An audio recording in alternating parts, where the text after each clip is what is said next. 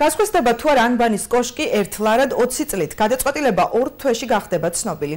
შესაძლო გასხვისების შესახებ მემორანდუმი ქალაქისა და რეგიონის პირველმა პირებმა ერთი კვირის წინ ესპანურ კომპანიასთან გააფორმეს. თუმცა ინფორმაცია საჯარო დღეს საკრებულოს ხდომაზე გახდა.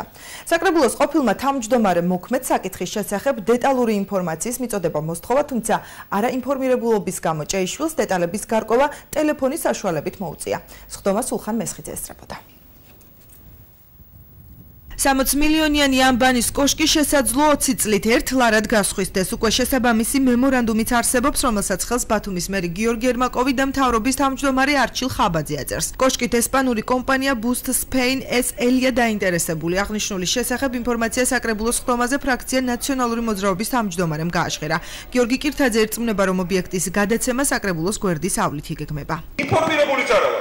არავინ არ თვითკრა ამბანის კოშკს რომელიც საკმაოდ ძვირი ხის და რომელიც ჩემი ეს დამშოვანი ობიექტია ქალაქის ტურისტული.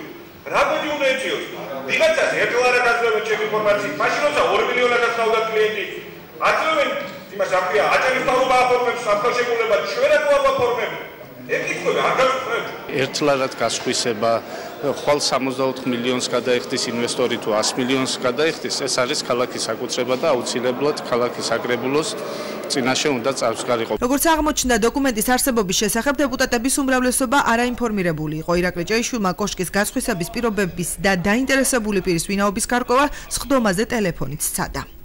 ხელი მოაწერა შეგვიძლია გადაამოწმოთ ქალაქის მთავრობის მეთაურმა და ქალაქის. რაზე მოაწერა ამისე მემორანდუმი რა რა შეიძლება რაც გამირეკე გადაურეკე გადმომიგზავნიან ელექტრონულად თუ ეხა პროცესში გადმომიგზავნიან მივცენ აპარატს ამობეჭდავენ და გამოვაკვეთენ ბატონო ირაკლი მერი საფინანსო ეკონომიკური სამსახურის უფროსი გოგა ლომაძე განმარტავს, რომ ესპანური კომპანია ორი თვის განმავლობაში კოშკის მდგრადობა შეისწავლის და ამის შემდეგ განისაზღვრება გასხვისების პირობები. მემორანდუმი თვალისწინებს ისეთ პირობას, რომ დაინტერესებული კომპანია ორი თვის ვადაში უზრუნველყოფს ანუ ობიექტის შესწავლას, გაანალიზებას და იმ შემთხვევაში თუ საბოლოოდ გადაწყვიტავს და გამოთქვამს ზადყოფნას ობიექტის მართვის უფლებით აღებაზე, ასეთ შემთხვევაში ბათუმის მერი განკარგულების შესაბამისი განკარგულების პროექტს წარუდგენს საკრებულოს განსახილველად, რათა მოხდეს ამ ობიექტის აჭარის ავტონომიური რესპუბლიკისათვის საკუთრებაში გადაცემა. თავრობის აპარატში აცხადებენ, რომ კოშკის დროებითი გასხვისების საკითხის საკრებულოსთვის წინასწარ შეთანხმების ვალდებულება მათ არ ჰქონდათ. არანაირი სამართლებრივი ვალდებულება ან აუცილებლობა რომ ბათუმის საკრებულოს ცოდნო და ამის შესახებ არ არსებობს, ვინაიდან კიდევ ერთხელ მეორე დაინტერესებული პირს